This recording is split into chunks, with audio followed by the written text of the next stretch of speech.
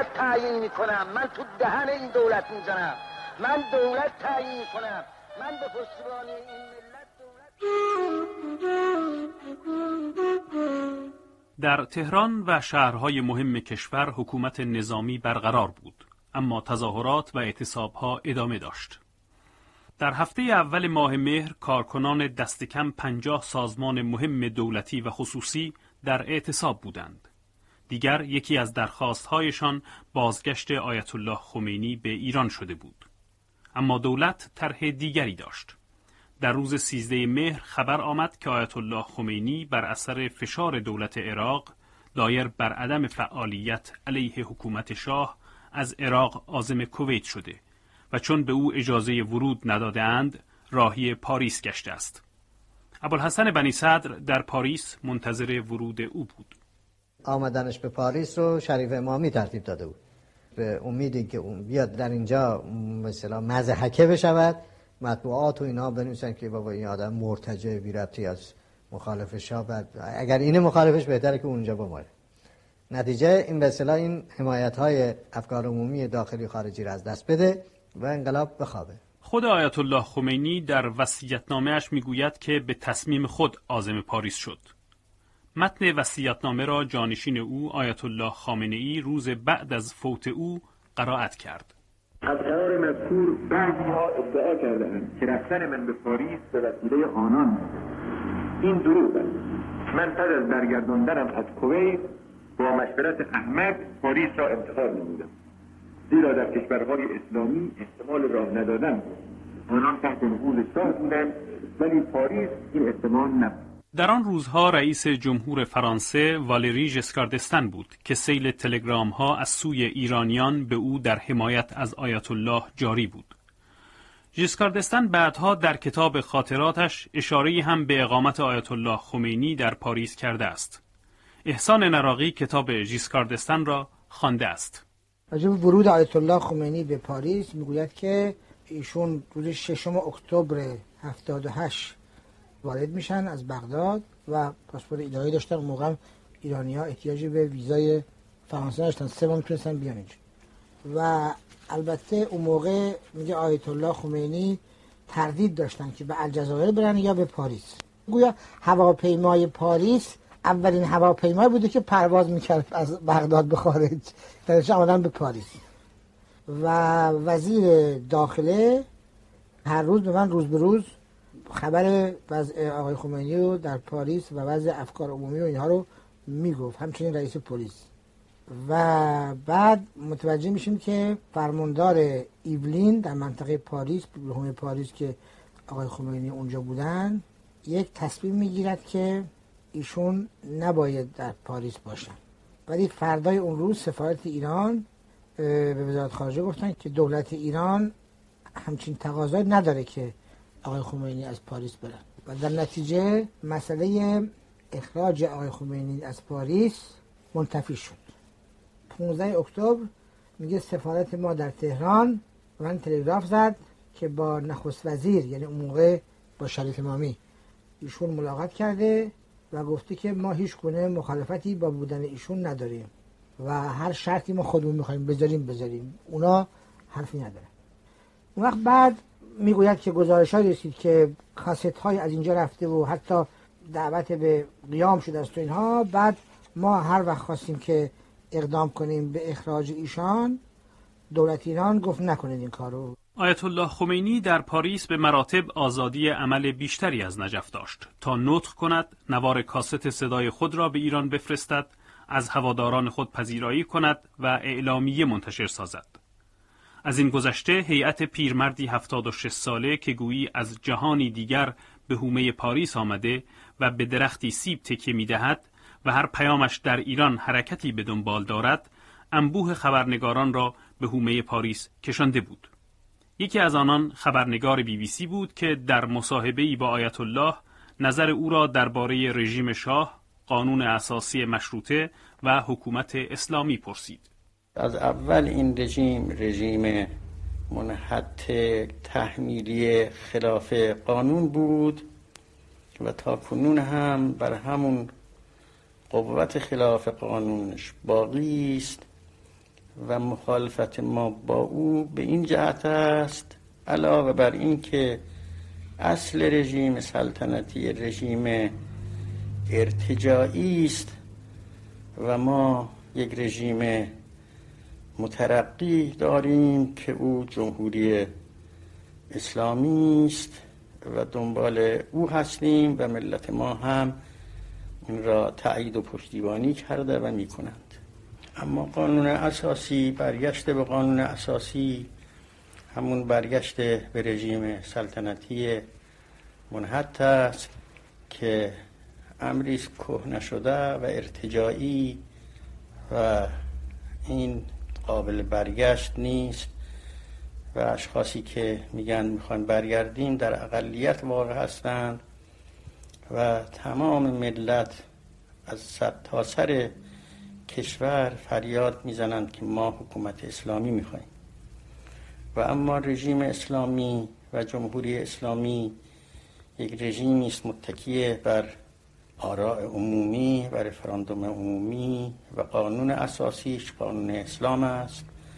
باید منطبق با قانون اسلام باشد و قانون اسلام مترقی ترین قوانین است و قانون اساسی اون مقدار که مطابق با این قانون مترقی است اونها بر برای خود باقی میماند و اون مقدار که مخالف با این است به حکم خود قانون اساسی قانونیت ندارد و اونها باید ساقط بشن در پاریس کسانی دور آیت الله خمینی را گرفته مورد مشورت او بودند که با سالها تجربه اقامت و تحصیل در غرب زبان مطبوعات و رسانه های غربی را خوب می شناختند.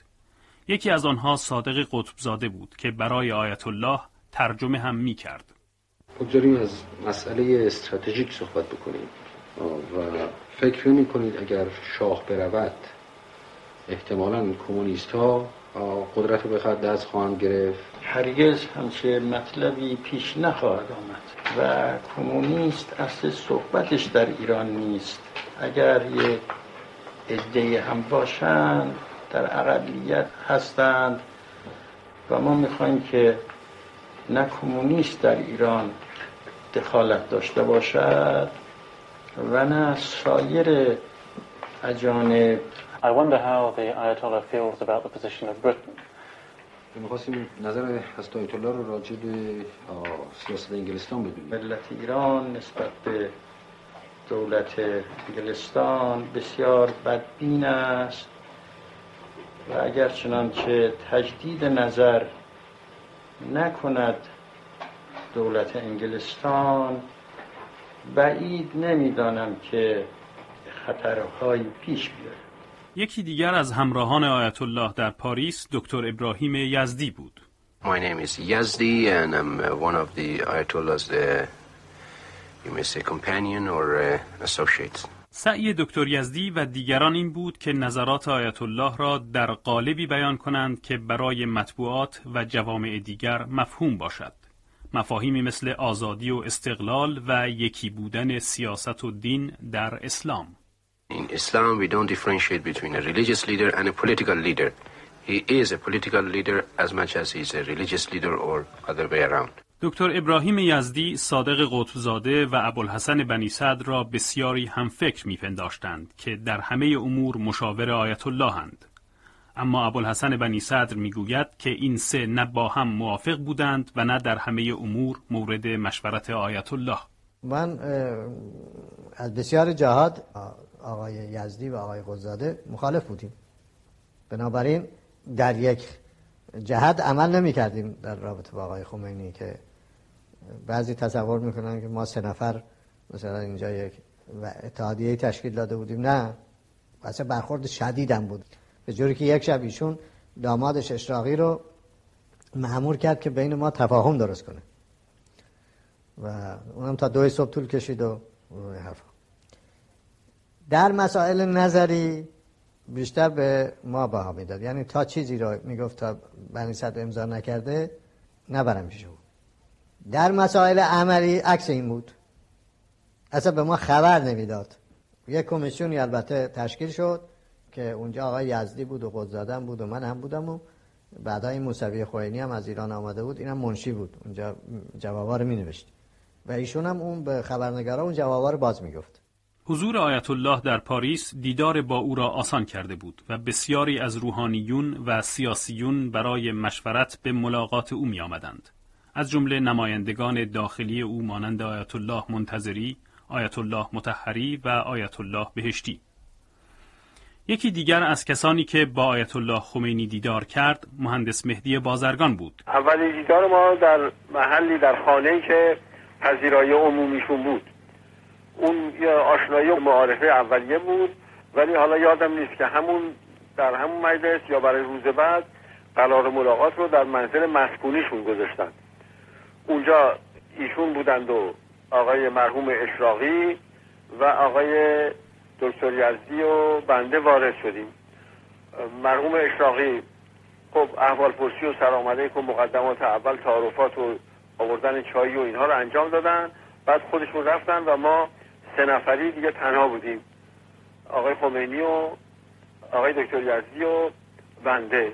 و ایشون در اونجا گفتن که می‌دونم یا فکر می‌کنم که به ایران بیام و چون مردم ممکنه از من راجع به انتخاب نمایندگانشون یا برای وزرا برای هیئت وزرا وزرا اینا بپرسن و من شخصا آشنایی و سابقه زیادی ندارم و مدتی از ایران دور بودم و در محیط سیاسی و اجتماعی هم زندگی نداشتم.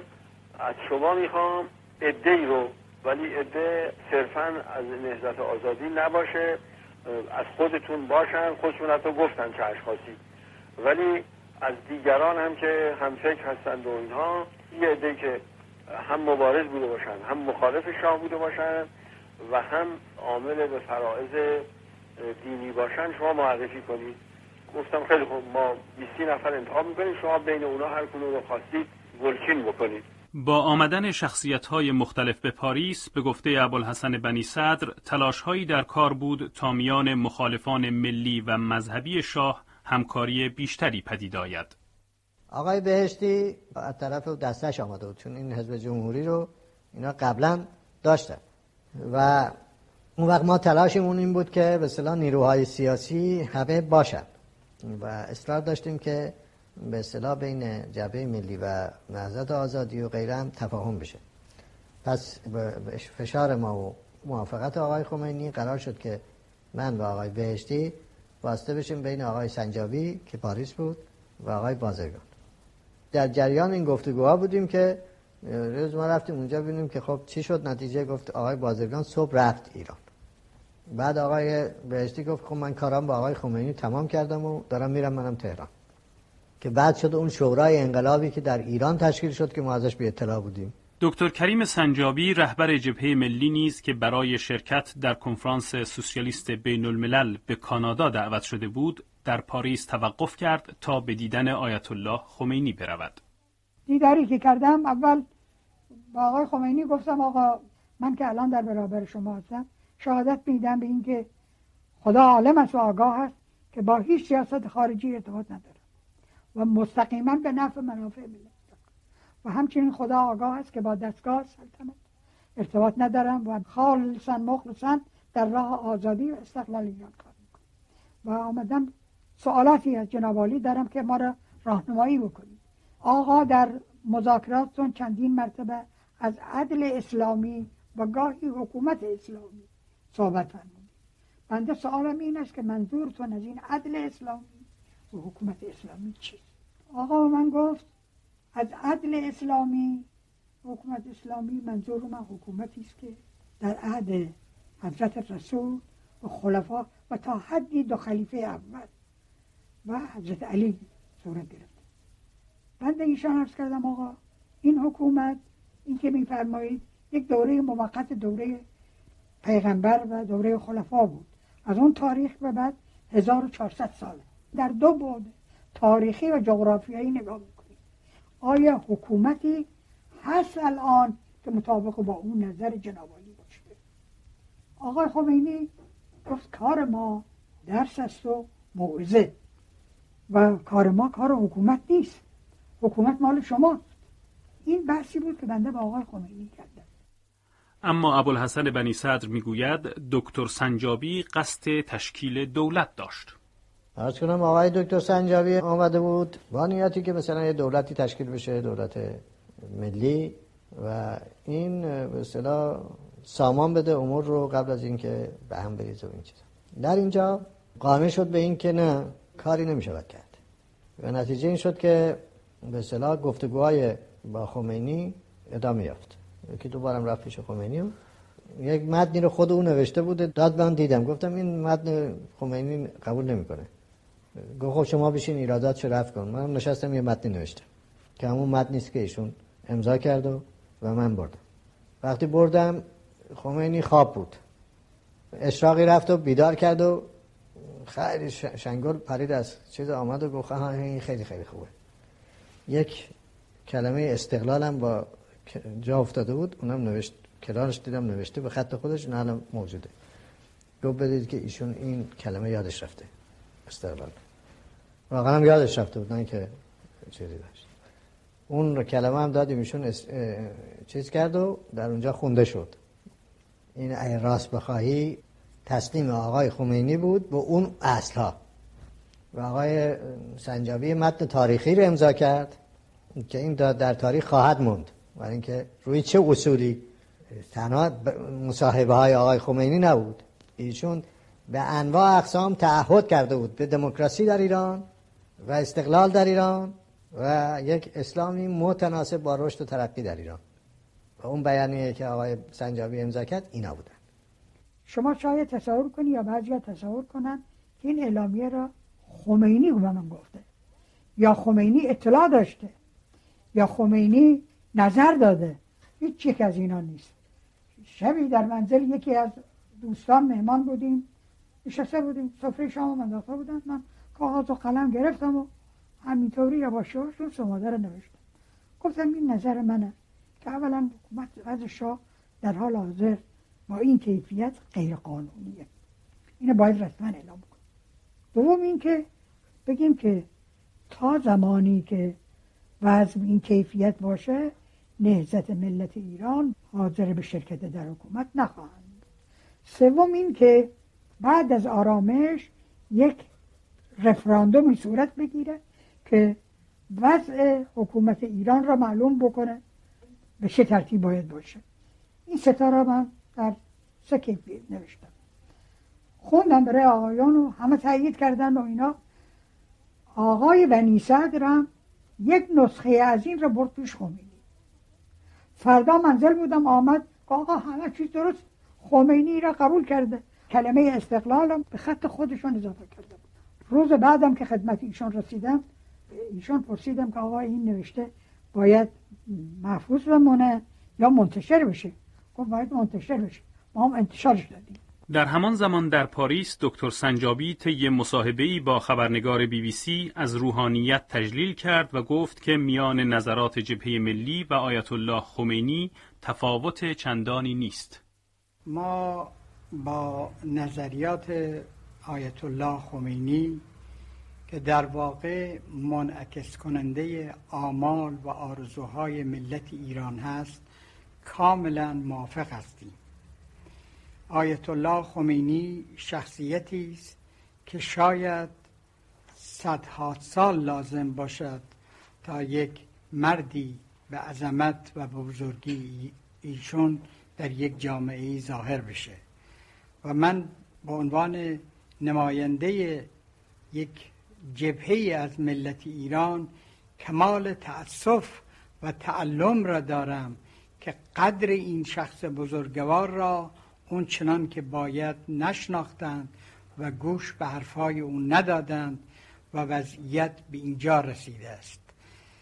و البته من در پیش خودم اینطور تعبیر می کنم که در یه ملتی که قریب 98 درصد اون مسلمان هست اگر بر طبق اصول دموکراسی و با رأی آزاد مردم ایران.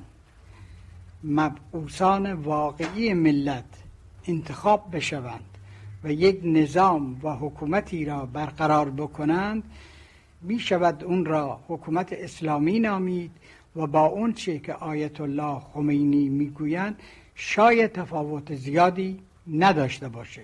بیانیه سمادهی پاریس بر همکاری نیروهای مخالف شاه افزود و مبارزات مخالفین را در داخل تشدید کرد. حوادث مهم گرچه در داخل ایران رخ می‌داد اما تصمیمات مهم در دهکده نفل و شاتو در نزدیکی پاریس گرفته می‌شد.